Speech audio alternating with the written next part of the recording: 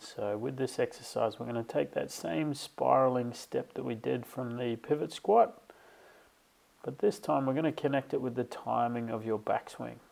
So you could imagine that I'm holding onto my club, and then as I go into my backswing, I'm going to step that left foot around to help me create that spiral through my right leg and turn my hips to that 45 degrees or thereabouts.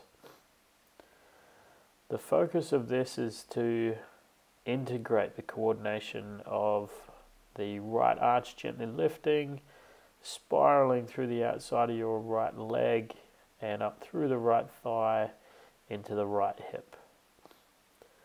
So as you take your club away, it's not about trying to really uh, aggressively take your backswing back.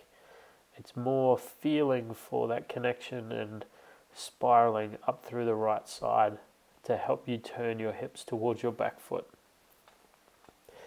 Repeat it for as many repetitions as you need to to get the motion feeling smooth and only move through a range that you're comfortable.